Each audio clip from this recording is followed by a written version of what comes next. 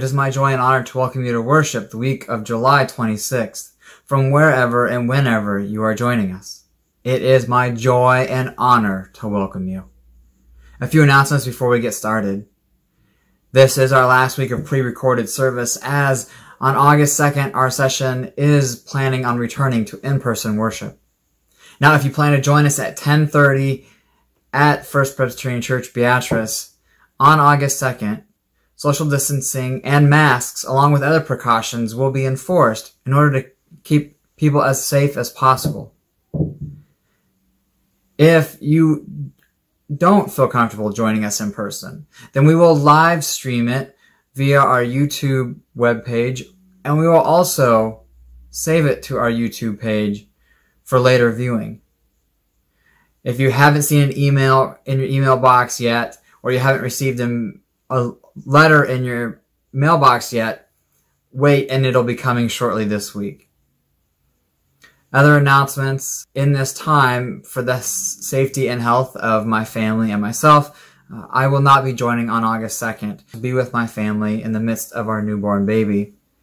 And so we will have different people preaching and leading worship in that time. Doris, one of our elders, will actually be leading worship and giving the message on August 2nd. If you'd like to know what else is going on in the life of our church, you can find it in the bulletin that's in the link below this video. Or you can call the church office and we'll be happy to share that with you or check your email or your mailbox. And now as we come before God, this Sunday as we as we explore how God calls us outside of the divisions that, that we see in our world, let us prepare ourselves to meet God in this space that we're in right now. So I invite you to take a deep breath in and exhale. Breathe in God's love. Breathe out God's love to others. Breathe in God's love.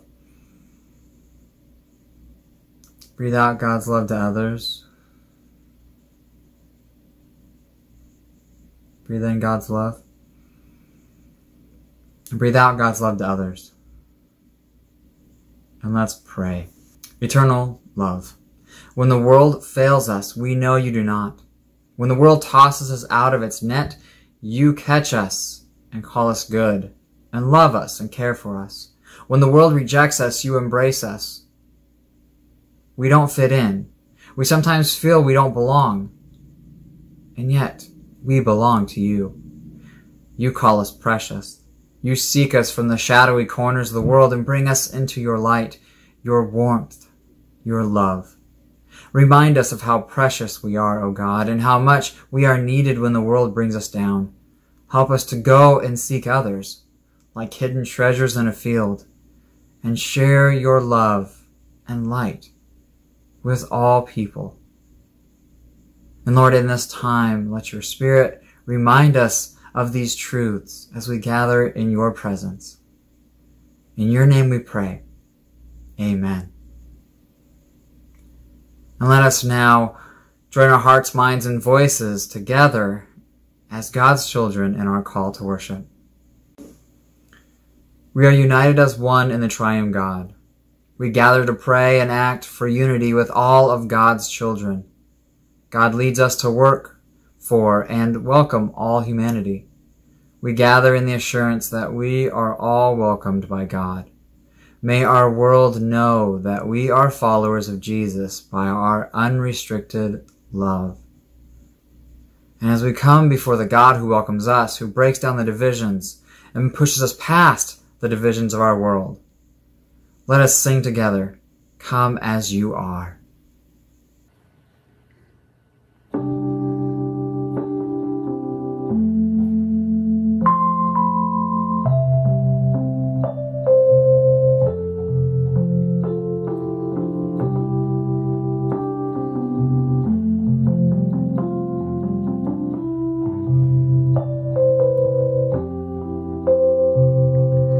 Come out of sadness from wherever you've been. Come broken heart, let rescue begin. Come find your mercy, oh sinner, come kneel. Earth has no sorrow that heaven can't heal. Earth has no sorrow that heaven can't heal. So lay down your burdens, lay down your shame. All who are broken, lift up your face. Oh, wanderer,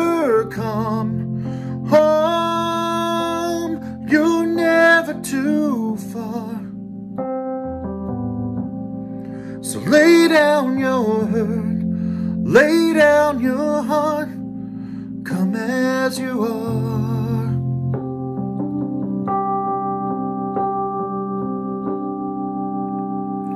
There's hope for the hopeless and all who have strayed. Come sit at the table, come taste the grace. There's rest for the weary and rest that endures. Earth has no sorrow that heaven can't cure. Earth has no sorrow that heaven can't cure. So lay down your burdens, lay down your shame. all who are broken. Lift up your face, oh wanderer, come home. You're not too far. So lay down your hurt, lay down your heart, come as you are, come as you are, fall in his arms, come as you are. There's joy for the morning. O sinner, be still. Earth has no sorrow that heaven can't heal. Earth has no sorrow that heaven can't heal. So lay down burdens, lay down your shame. All who are broken lift up your face.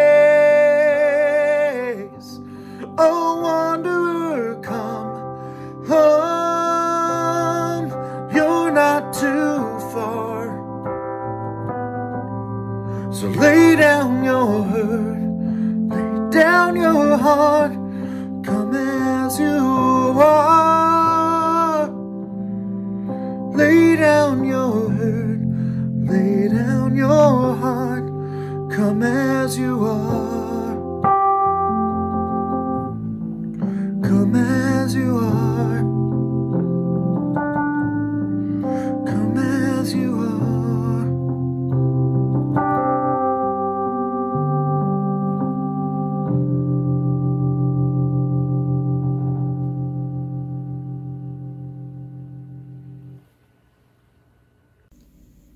Let us lay down all that we are before the God who accepts us as we are, with love and grace.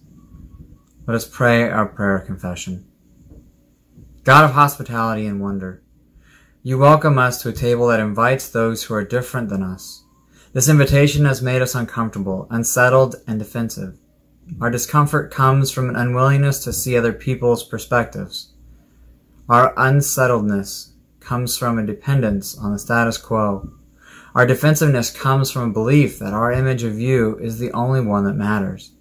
Help us to surrender ourselves to the abundance of your invitation.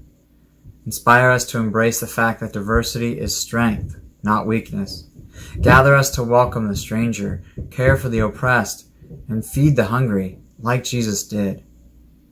Forgive us for our short-sightedness and open us to your gospel that we might better embody the beloved community you call us to be. Hear and accept us as we confess our struggle and brokenness to you.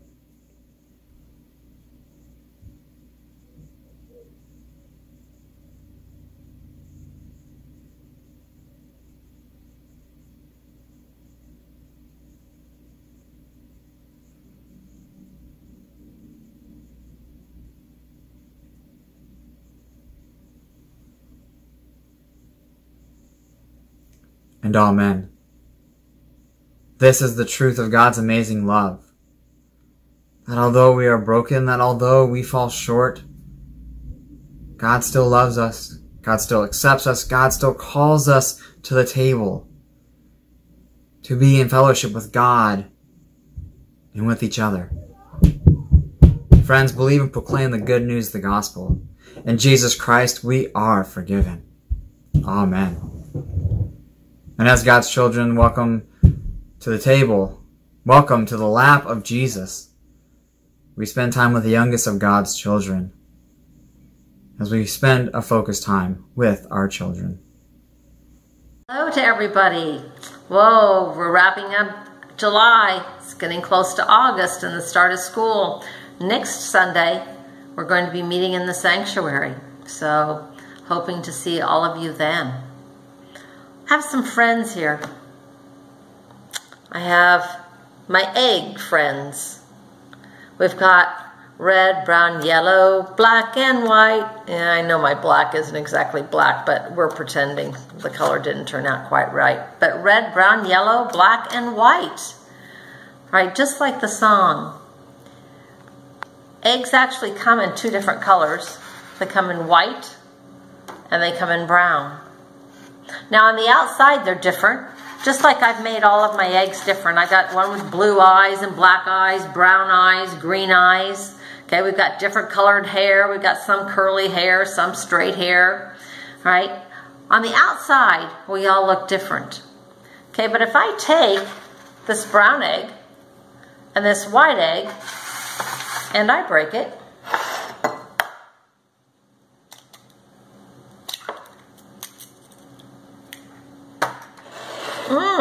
Will the brown one look different than the yellow one? Or I mean than the white one? Let's see. No, they both look the same. White eggs and brown eggs are actually the same, have the same nutrition in them. They both are the very same on the inside, even though on the outside they look different. God made us all different. Now, Peter in the Bible, he was thinking that Jesus came to only save the Jews. Whoo, we don't want to talk to those Gentiles. We don't want to tell them about Jesus. Okay, but Jesus showed him in a vision that he was to love everybody. It didn't matter if they were brown or they were white. They were black, yellow, or red. On the inside, we are all loved by God because we are all the same. Even though on the outside we might look different. How do you like your eggs? Scrambled? Ooh, use them to make cookies. Hmm, maybe deviled eggs. Mix them up and put them in some chicken or some tuna and make some chicken tuna or chicken salad sandwiches. Eggs have lots of purposes, just like we have lots of purposes. But we need to let God love us and show us what jobs we have to do for Him. Let's sing a song.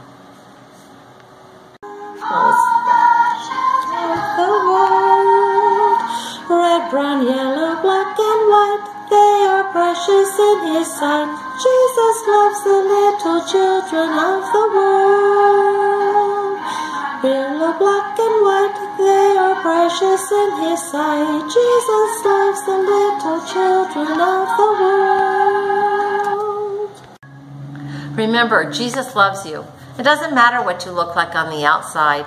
And we have to remember that we need to love everyone, no matter what they look like on the outside, and let God work through us. Let's say a prayer. Dear Jesus, we know that everyone is precious in your sight. And we know that you came to save everyone, not just those of us that are white, maybe, or black, or brown, or red, or yellow. You came to save each and every one of us. Let our light shine through you so that others will know how much you love them. In Jesus' name we pray. Amen. Remember the treasure hunt? It's been a couple weeks now. I was actually a little disappointed. We didn't have very many people rise to the challenge. The treasure hunt is still out there, so if you're still interested in treasure hunting, go for it. See if you can find it. You may have to go back and dig out the clues that I sent you, okay? But go find that treasure. Hope to see you next week. Bye.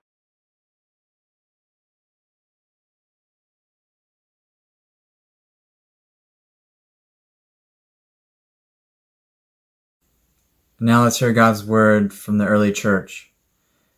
As told in the book of Acts, chapter 10, selected verses. Let's listen for the word God has for us today. About noon the next day, as they were on their journey approaching the city, Peter went up on the roof to pray. He became hungry and wanted something to eat, and while it was being prepared, he fell into a trance.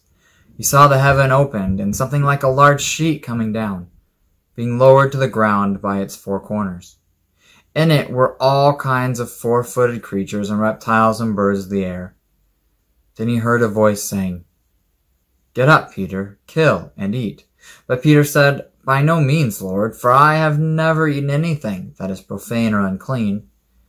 The voice said to him again, a second time, What God has made clean you must not call profane. This happened three times, and the thing was suddenly taken up to heaven.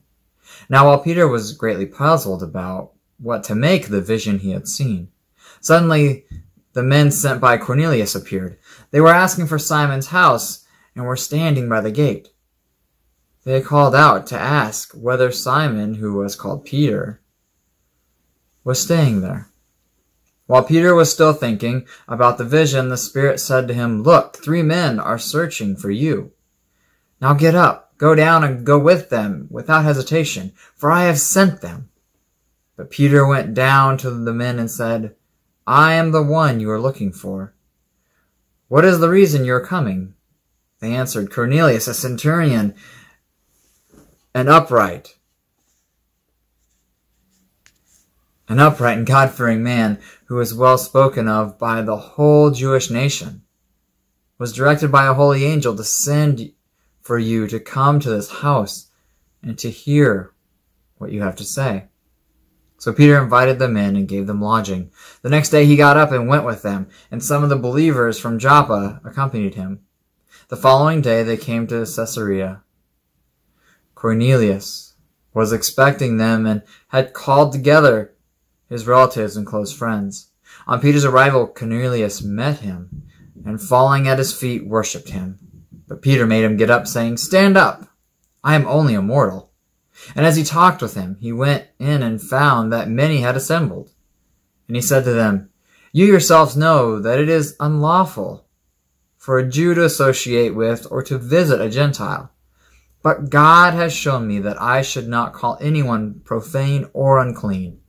So when I was sent for, I came without objection. Now may I ask why you sent for me? Cornelius replied, Four days ago, at this very hour, at three o'clock, I was praying in my house when suddenly a man in dazzling clothes stood before me. He said, Cornelius, your prayer has been heard and your alms have been remembered before God. Send therefore to Joppa and ask for Simon, who is called Peter. He is staying in the home of Simon, a tanner, by the sea.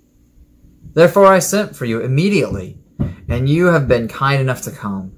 So now all of us are here in the presence of God to listen to all that the Lord has commanded you to say. While Peter was still speaking, the Holy Spirit fell upon all who heard the word.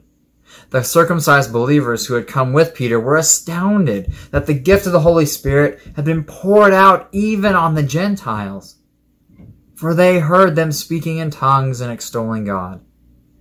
Then Peter said, Can anyone withhold the water of baptizing these people who have received the Holy Spirit just as we have? So he ordered them to be baptized in the name of Jesus Christ.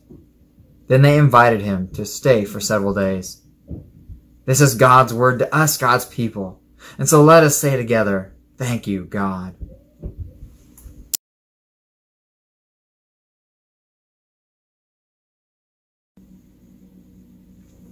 And with the magic of recording, I'm wearing different clothes. Actually, no, it's not magic. You're just getting a look into how I record things.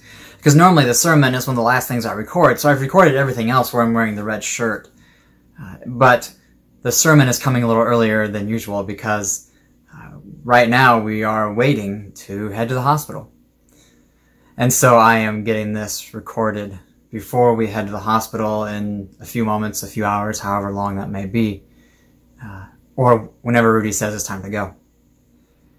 And so I want to get recorded though before, because I think this sermon, I think this message of what God gives us, uh, of moving past the laws of division, the seen and unseen lots of division is actually one that is becoming more enlightened to us in what's going on in the world right now. And I'll be honest, is, is one that I think about a lot as we about to head off to have our, our third child. Uh, it's an interesting story. Peter getting this vision from God while he's up on a roof, while he's up on his own. this vision of of animals coming down on a blanket and being told to eat. We talked about this story a few weeks ago in our adult Sunday school class on Sunday morning, and someone asked, "So what is so what is the significance? What does it matter what animals are on there?" And according to Jewish scripture in the Old Testament, all the animals that were on that blanket were animals that were not supposed to be eaten, were seen as impure. And yet God tells Peter to not only notice these animals, but to eat them. And when Peter says, hold on now, I've, I've lived the life, I've, I followed all the rules, I've never let anything impure touch this mouth, I've never let, I've never done anything impure. God says, don't call impure or unclean what I have made clean.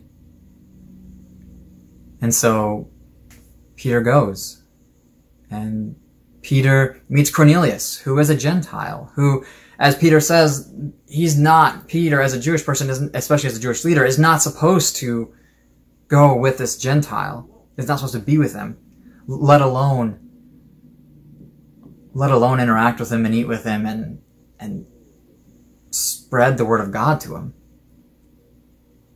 But, but Cornelius had a vision from God to have Peter come. And Peter had that vision. And so Peter gets to Cornelius and says, Who am I to go against God's word? God has told me not to call profane what God has made unprofane. And so Peter shares the word of God not only with Cornelius, but with all those gathered. And then Peter says, Well, who am I to withhold the waters of baptism from those that God has, those that God has called to us? And it's an interesting story, but it's, it's, it's an even bigger story. And the fact that this is, this is, this is the true moment where we see God telling God's people at that point that it's not just, there isn't that divisive line. There isn't those laws that keep you separated from everyone else. These laws aren't meant just for a few. These laws are what God has given to everyone, and it's not the laws; it's the it's Jesus. Right? It's Jesus has come from for for everybody. So these laws that you try to keep divisive, these laws that you try to divide yourselves from others, it's now time to overcome them. It's now time to see that that I came as Jesus Christ for everybody. And I think in this time we see a, a lot of those laws, those written and unwritten codes that, that have divided us. We see them coming to light. We see them coming to light in the Black Lives Matter movement and showing that there have been laws and codes that have said that people who do not have white skin are different and treated differently and deserve to be treated differently than those who don't.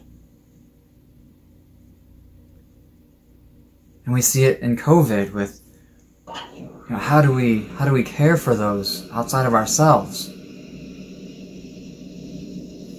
And how do how is our healthcare system work? I've thought about these divisions a lot as we prepare for this for our third child. And as we're about to head out here soon, I I understand that we are blessed to have health insurance and to, to not have to worry about the cost of what this just the birth of this baby, how it's going to impact us because my wife and I both have jobs. We, we have insurance. But there are those who don't. There are those who can't afford insurance because of the system we have and because of the jobs they can get. Some people work three jobs and would never be able to afford the hospital bills, even if they had insurance. I'm also aware that we are blessed. That we are blessed to have the support of a church community and a school community where Rudy works, and we're blessed to be around family and but there are those who don't. There are those who don't have those blessings. And I'm also aware that statistically statistically, my wife is at a higher chance of dying from this birth. Not because of her age, but because our hospitals do not care for people with non white skin as well as they do those who have white skin.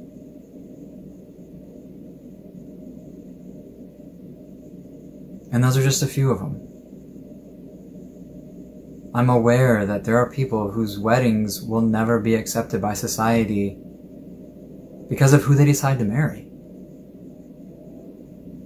I'm aware that my wife, who's African American,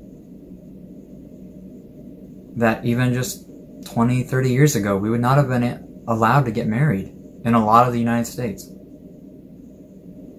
And I think that's what maybe the next step for us as a church is, is that we have, in Peter's story, we have this, this written code, this written law of division that God says to overcome. But now as people of God, we're being shown that there are unwritten or that there are ancient laws that need to be overcome. That there are ancient divisions that, that God will call us to break down, to bust through, and to reach out.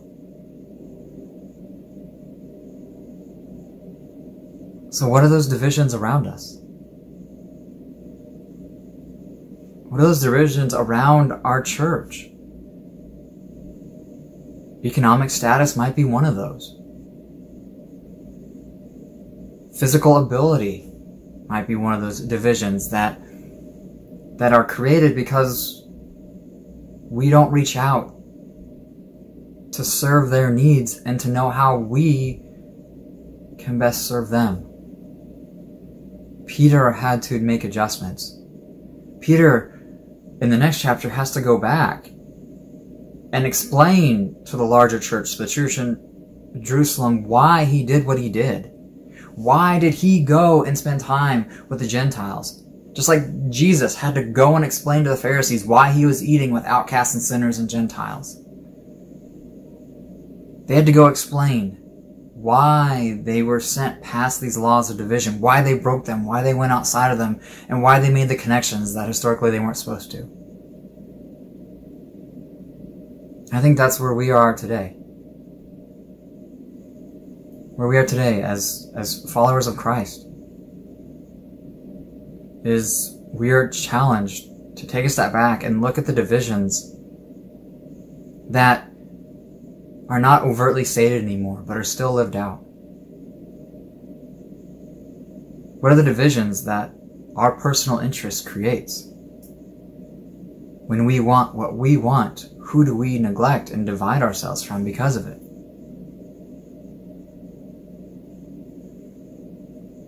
And how do we break those divisions? What divisions are, are God calling us to go beyond, to break through? Who are we called to go out and listen to?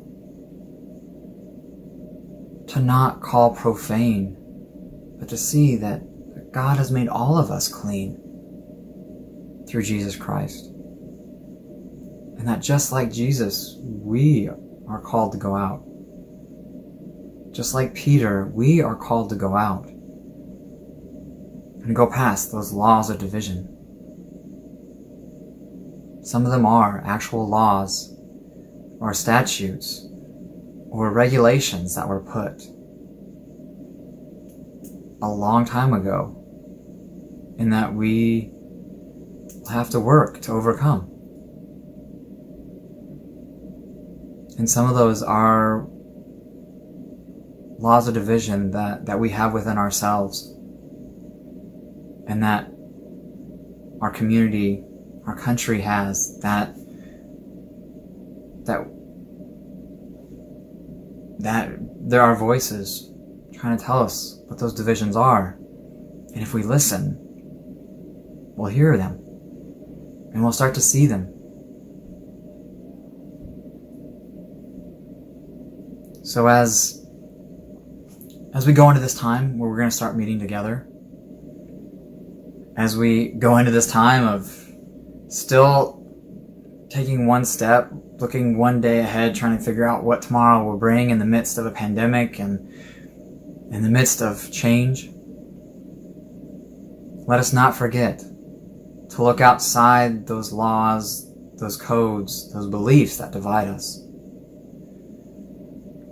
Let us not neglect the voice of God that is telling us to not call unclean what God has made clean.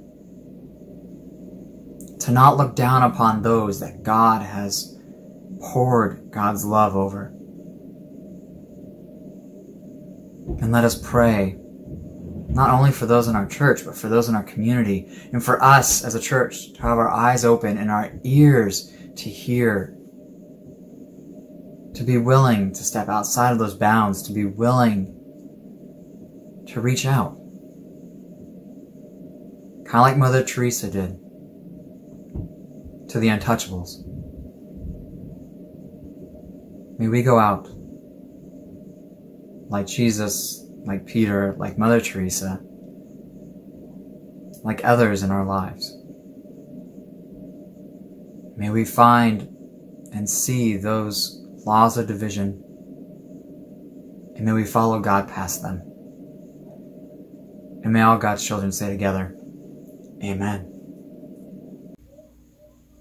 Having heard God's word, let us proclaim together what we have proclaimed with all those who follow Jesus from Jesus' time, as we say together the Apostles' Creed. I believe in God the Father Almighty, maker of heaven and earth, and in Jesus Christ, his only Son, our Lord, who was conceived by the Holy Ghost, born of the Virgin Mary, suffered under Pontius Pilate, was crucified, dead, and buried. He descended into hell. The third day he rose again from the dead. He ascended into heaven, and sitteth on the right hand of God the Father Almighty. From thence he shall come to judge the quick and the dead. I believe in the Holy Ghost, the Holy Catholic Church, the communion of saints, the forgiveness of sins, the resurrection of the body, and the life everlasting. Amen. And in this time of the service where we would normally collect offering, you are invited to send or to drop by your monetary offerings to the church. But also in this time, you're invited, encouraged to listen to God, but also to offer yourselves up to God, offer your very life to the Lord. As someone who follows in Jesus' footsteps, as a child of God, who desires to be who God created you to be, and to share God's love and guidance with others. So let us offer our very selves up to God, and even our voices, in this time as we sing together, Blessed be the tie that binds.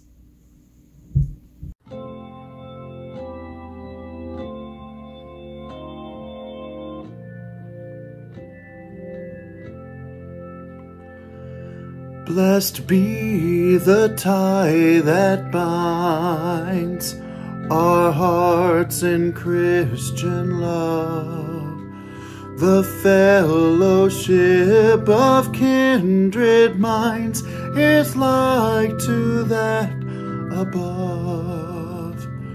Before our Father's throne, we pour our ardent prayers, our fears, our hopes, our aims, our one, our comforts and our cares.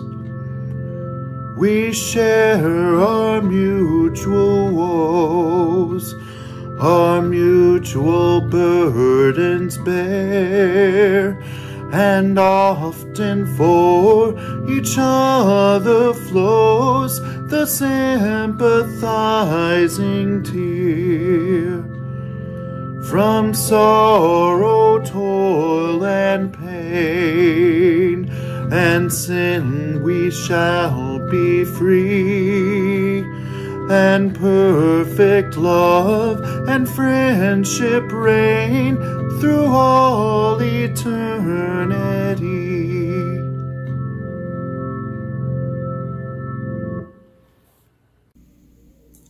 Now let us come before God as we pray for ourselves, for our family, our friends, our community, and the world. As God promises to hear us, let us lift up our prayers now. Heavenly Lord, you are a God who leads us, who makes us a way when there is no way, We give you thanks, O Lord, for you are stronger than every situation. We give you thanks for your creative spirit is always at work, making all things new. We give you thanks for through, for though we feel scattered or on edge, there is no place we can go beyond the reach of your love. And so we are bold to lift our voices to you, to admit our need. We pray this day for your church, in this community, in this nation, and in this world. We ask your blessings on your body that we may in turn be a blessing to others. We ask for guidance, strong and sure, for we are not certain of the way forward. We pray for the gift of discernment and the courage to follow, even when we feel battered by the waves. Give us eyes to see and ears to hear, and feet ready to follow, and hands ready to serve. Take us, take from us any thought that does not glorify you, and lead us on your way. We pray this day for the nation, for the nations of this world, and for our leaders, that they too may have the gifts of discernment and courage. Give them wisdom to seek the good of all, not only some. Give them compassion and imagination and love. We pray this day for your people near and far who live each day with fear. Whether they fear someone in their home or violence in the streets or the government or themselves, bring peace, O God. Bring peace to those in the midst of war and to those whose greatest challenge is within. Bring peace that passes all understanding, peace founded on justice, and bring us together to be creators of justice and peace for all your creation. We pray this day for those who are ill in body, mind, or spirit. May your healing presence surround and fill them. May your comfort enfold them. Guide the hands and minds of doctors and nurses and all who care for others, that they may understand and so treat people toward wholeness. We pray this day for all those who find the news too much to bear, people living with stories that have not been able to tell with hearts burdened by trauma, with lives upended by choices made by others. Shield their hearts, O God. Give them hope and help and a listening ear. Give us courage to hold their stories, their feelings, and their prayers, to be a friend to those who feel. You are God. You are a God who makes a way when there is no way, who creates paths in the desert through the storm. Carry our burdens and lift our spirits, that we may bravely walk this earthly way. Lead and guide us to go forward into your future with faith, hope, and love. We pray these and all things that are in our hearts and our minds. In the name of the one who is the pioneer and perfecter of our faith, Jesus Christ. So, Lord, we entrust all these concerns to you, God. Lord, we commend to your care our souls and our bodies, our minds and our thoughts, our health and our work, our parents, our children, our families, our neighbors and friends, our life and our death. We place them all in your hands this day and always. And so, Lord, we pray as your Son modeled for us to pray, saying, Our Father, who art in heaven, hallowed be thy name. Thy kingdom come, thy will be done, on earth as it is in heaven. Give us this day our daily bread, and forgive us our debts, as we forgive our debtors. And lead us not into temptation, but deliver us from evil. For thine is the kingdom, and the power, and the glory forever. Amen. And now, as we conclude our time together, as we, as this time comes to an end, and as we prepare ourselves to experience and to follow God beyond the divisions of our world outside of this worship time. Let us sing together Song of Hope.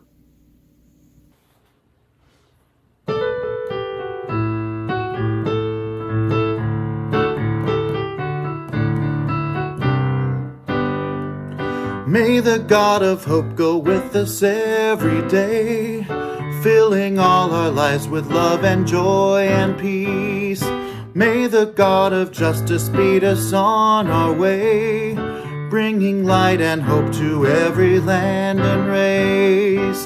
Praying, let us work for peace, singing, share our joy with all, working for a world that's new, faithful when we hear Christ call. May the God of love go with us every day, filling all our lives with love and joy and peace. May the God of justice lead us on our way, bringing light and hope to every land and race. Praying, let us work for peace, singing, share our joy with all, working for a world that's new, faithful when we hear Christ's call.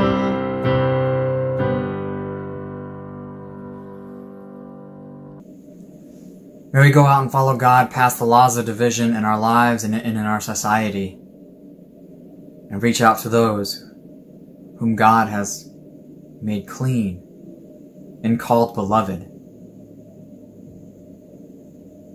And let us commit our lives to our Lord Jesus Christ.